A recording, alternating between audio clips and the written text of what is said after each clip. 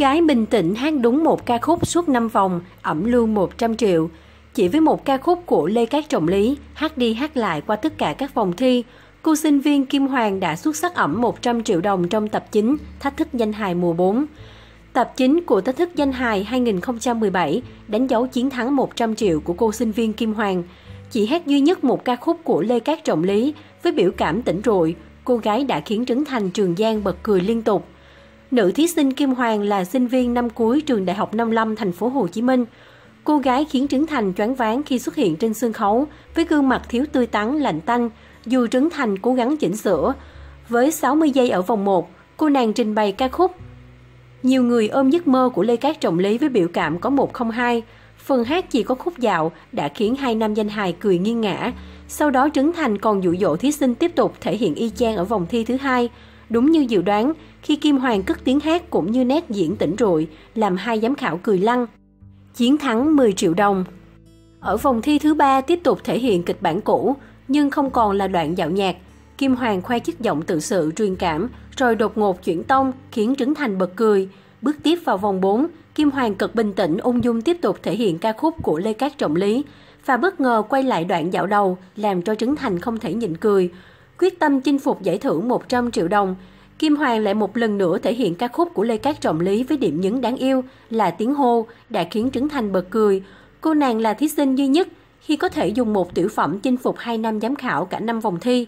Sau đó Kim Hoàng bị Trường Giang dụ dỗ thi vòng 6 và tiếp tục làm cả hai năm giám khảo bật cười ở những giây cuối. Sau cùng, hai năm danh hài phấn khích lên sân khấu trao tặng giải thưởng 100 triệu đồng cho cô thí sinh.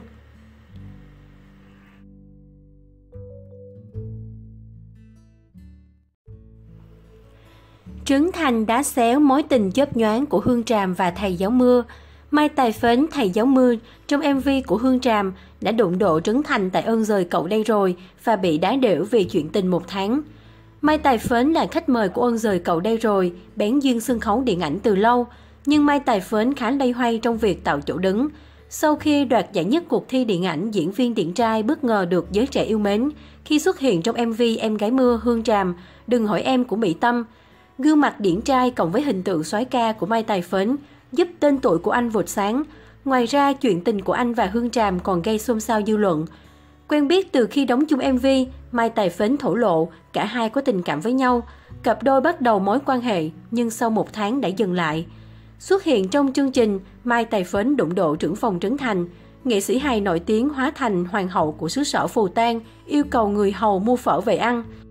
Thế nhưng với mái tóc ngố kết hợp cột cây dừa, nam diễn viên đề nghị hoàng hậu quên phở đi mà ăn con được không?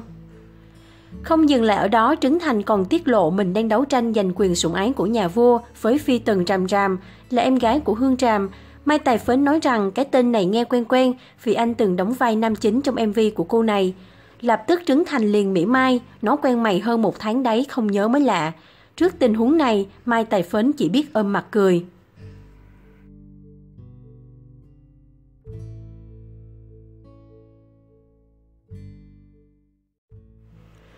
Tuấn Hưng hé lộ lý do khiến fan cuồng giật mít ngay trên sân khấu. Thay vì có phản ứng tức giận, sẵn sàng ba mặt một lời với khán giả quá khích như mọi lần, Tuấn Hưng đã trở nên điềm đạm hơn rất nhiều khi vướng phải sự cố lần này. Tối 16 tháng 1, cộng đồng mạng truyền tay nhau đoạn clip ghi lại cảnh Tuấn Hưng bị một khán giả nam đột ngột lên sân khấu giật mít khi giọng ca nắm lấy tay anh đang say sưa biểu diễn trước đông đảo khán giả ở một quán bar. Đáng nói, trước sự ngơ ngác khó hiểu của Tuấn Hưng và nhiều khán giả, Người đàn ông này vẫn rất bình tĩnh lạnh lùng, nhìn tất cả mọi người rồi chậm rãi quay đi. Được biết đây là sự cố mà Tuấn Hân gặp phải khi đang biểu diễn ở một quán bar tại Mỹ cách đây vài ngày. Sau khi đoạn clip này được lan truyền quá mạnh mẽ trên khắp các diễn đàn mạng xã hội, Tuấn Hân đã chính thức lên tiếng về sự việc.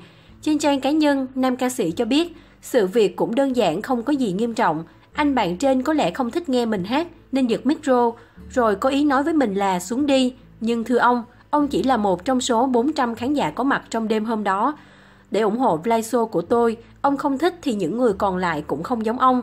Nên việc ông không thích nghe tôi hát thì tôi nhờ Bullet nhấc ông ra ngoài chỉ trong vòng 3 nốt nhạc để ông khỏi quậy phá cảm xúc của những người còn lại. Nghệ sĩ chúng tôi đi diễn chỉ mong được bình yên trong những khoảnh khắc trên sân khấu để được cống hiến trọn vẹn phần trình diễn của mình dành cho khán giả mà thôi. Cũng sau khi sự việc này được chia sẻ lên mạng xã hội, Tuấn Hân đã có trả lời với truyền thông về việc anh không tỏ thái độ giận dữ như mọi lần. Mỗi nơi tôi đến biểu diễn đều có cách xử lý khác nhau. Ở Mỹ có nguyên tắc vào luật pháp, có những hành động mang tính xâm phạm sẽ được xử lý hoặc kiện ngay. Và lúc đó người nghệ sĩ không cần xử lý bằng bản năng, mà phải bằng cái đầu, Tuấn Hân nói.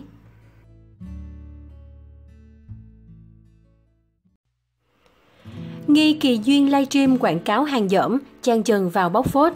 Kỳ Duyên hí hửng livestream chia sẻ bí quyết làm đẹp của mình lên trang cá nhân. Ngay lập tức cô bị người mẫu trang trần bóc phốt. Tối ngày 17 tháng 1, Hoa hậu Kỳ Duyên đã có một đoạn livestream ngắn chia sẻ bí quyết làm đẹp của mình cũng như giới thiệu sản phẩm giúp một người bạn của cô. Trong khi mở màn cuộc livestream, cô để lộ làn da bóng khỏe mà có nhìn kỹ cũng thấy lỗ chân lông. Hoa hậu Kỳ Duyên đang livestream để tự vấn mọi người có được làn da đẹp như cô. Khi Kỳ Duyên đánh lên lệch thẳng vài tông so với làn da vốn đại trắng của cô, nhận ra điều này, cô nàng mới bắt đầu soi lại trong tủ quà đâu mới là tông hợp với mình. Nhưng cô bị đàn chị Trang Trần lên tiếng bốc mẻ vì sản phẩm Kỳ Duyên giới thiệu không đúng. Vốn nổi tiếng thẳng tính, người mẫu gốc Hà Thành không ngần ngại nêu ra quan điểm của mình. Cô bình luận, em vừa nói sản phẩm của Việt Nam, rồi em lại bảo hàng Hàn Quốc nhập khẩu Việt Nam.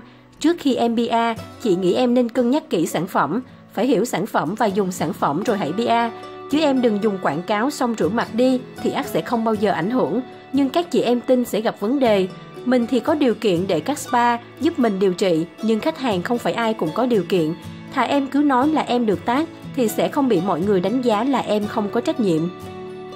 Đoạn bình luận của Trang Trường trong livestream và theo lời của người mẫu nói, Kỳ Duyên nên tìm hiểu sản phẩm kỹ rồi hãy tư vấn giới thiệu mọi người.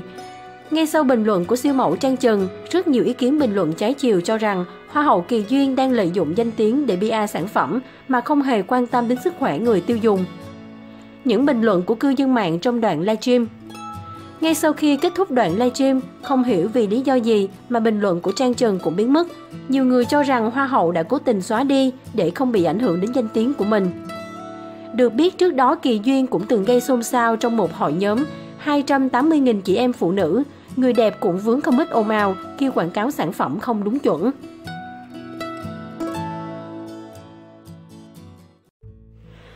Không nhà lầu xe hơi tiền tỷ, món quà Tuấn Hân dành cho vợ ý nghĩa và vô giá như thế này. Đào hoa chính là từ người ta thường gắn với Tuấn Hân khi nhắc tới nam ca sĩ bởi những scandal tình ái của anh. Vẻ ngoài cùng khí chất manly của anh đã từng khiến rất nhiều người hâm mộ phải gục ngã. Cứ nghĩ Tuấn Hân sẽ mang danh đào hoa suốt cuộc đời, ai ngờ đâu, ngay sau khi có bà xã Thu Hương, người ta lại thấy một Tuấn Hân hoàn toàn khác, nhẹ nhàng, dịu dàng, chu đáo và quan tâm hết mực tới vợ con. Bằng chứng là suốt 3 năm hôn nhân, anh luôn khiến công chúng ngưỡng mộ khi liên tục thể hiện tình cảm với bà xã như tổ chức những buổi tiệc tối lãng mạn, tặng 99 đóa hồng trong ngày sinh nhật vợ hay không ngần ngại cổng vợ trên phố Đông. Gần đây Tuấn Hân lại khiến cư dân mạng ngưỡng mộ trầm trồ khi dành cho vợ một món quà hết sức ý nghĩa. Không phải là một chiếc xe hơi tiền tỷ hay túi sách hàng hiệu đáng giá vài trăm triệu, mà đơn giản là một đoạn clip dài hơn 3 phút với những hình ảnh và dòng tâm sự đầy xúc động trên nền bản hit nắm lấy tay anh từng gây bão một thời. Nam ca sĩ chia sẻ, trước khi đồng hành cùng chiến dịch Hiểu để yêu thương, chưa bao giờ anh nghĩ người phụ nữ đã phải hy sinh quá nhiều và vất vả tới vậy khi phải gồng gánh các công việc gia đình. Thế rồi khi tình cờ xem được đoạn clip tiếng Anh nói về sự thiệt thòi của người phụ nữ, anh gần như bắt sóng được ngay nguồn cảm hứng để thực hiện đoạn clip này.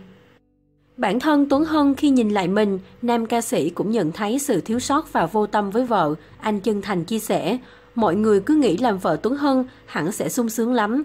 Nhưng không hẳn là thế em nhỉ. Mỗi khi anh về thì luôn mặc định là nhà cửa phải tươm tức với những bữa ăn nóng hổi thơm ngon. Anh đã từng rất xem nhẹ các công việc nhà, xem đó là việc cõng con, việc phụ nữ, ai làm chẳng được, chẳng mảy may quan tâm và chia sẻ với em. Không chỉ vợ Tuấn Hân mà cả những người phụ nữ khác Kể từ khi đảm nhận vai trò làm vợ, họ phải rời xa cha mẹ để đến sống dưới một mái nhà khác, xem ngôi nhà đó là nhà mình, coi gia đình chồng là gia đình mình, chăm sóc bố mẹ chồng như bố mẹ mình. Đó là chưa kể đến quá trình mang thai 9 tháng 10 ngày mệt mỏi, những giây phút đau đớn tột cùng khi sinh nở và còn biết bao nhiêu khó khăn vất vả để chăm sóc, vun vén cho tổ ấm gia đình.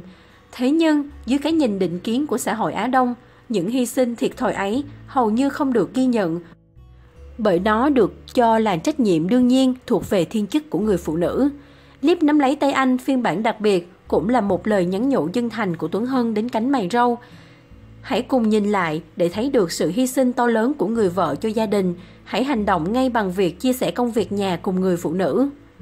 Sau khi dòng trạng thái được đăng tải, nam ca sĩ nhận được rất nhiều bình luận tích cực từ bạn bè cũng như người hâm mộ. Hơn ai hết, bà xã Thu Hương là người hạnh phúc và xúc động nhất. Cô chia sẻ bản thân cảm thấy may mắn khi có một người chồng tâm lý và hiểu vợ như Tuấn Hân. Anh luôn che chở bỏ qua những dỗi hờn cãi vã của bà xã và hết mình ủng hộ giúp đỡ cô trong việc kinh doanh. Cũng chính vì lẽ đó cô chia sẻ bản thân luôn hết lòng vì gia đình và đang từng ngày cố gắng hoàn thiện mình hơn.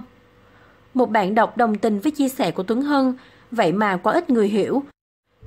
Họ nghĩ đàn bà đẻ và làm việc nhà là nghĩa vụ. Bên cạnh đó, một bạn khác cũng chia sẻ thêm, mong rằng những người đàn ông rồi sẽ hiểu ra để biết yêu thương và chia sẻ mọi việc với vợ mình. Nếu tình yêu chỉ được phun đắp từ một phía sẽ không thể lâu dài. Để ngọn lửa tình yêu không bao giờ tắt, người chồng cần biết lắng nghe, chia sẻ và thông cảm với những gánh nặng, nỗi lo của người bạn đời. Khi đó, những người vợ sẽ thấy sự hy sinh của họ là hoàn toàn xứng đáng.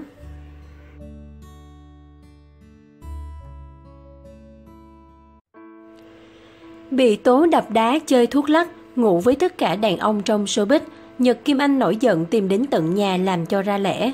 Mới đây, Nhật Kim Anh vừa khiến khán giả bất ngờ khi có hành động cứng rắn với anti-fan. Cụ thể, nữ diễn viên bị một người dùng tài khoản ảo nói xấu, đặt điều về mình trên mạng xã hội. Quá bức xúc trước hành động hạ nhục của người này, Nhật Kim Anh đã mời công an vào cuộc. Nhật Kim Anh thông báo trên trang cá nhân, vừa từ Canada về là đi thẳng tới nhà cô bé này xử lý vụ chửi rủa lăng mạ hạ nhục mình trong những ngày qua trên trang CBNC. Mấy ngày qua, Nhật Kim Anh rất bức xúc khi có một đích ảo có tên Thanh đã chửi cả dòng họ mình, nói mình đập đá chơi thuốc lắc và ngủ với tất cả đàn ông trong showbiz. Nói chồng mình chơi BD này nọ, nick ảo Thanh đã dùng những lời lẽ tục tiểu để chửi rủa lăng mà hạ nhục mình và anh Lộc Mặc dù mình và anh Lộc không hề có ân oán hay đắc tội gì với bạn ấy và cũng không biết bạn ấy là ai, sau khi nhận được tin báo của một bạn fan, trong vòng 3 tiếng đồng hồ, gia đình mình và công an đã tìm ra được địa chỉ và số điện thoại của bạn dùng nick. Khi đến tận nhà thì bạn rất sợ và hoảng loạn, bạn này nói đó không phải nick của bạn, có ai đó đã giả bạn ấy, muốn hại bạn ấy và hại luôn mình. Bạn ấy nói chỉ dùng có một nick mà thôi.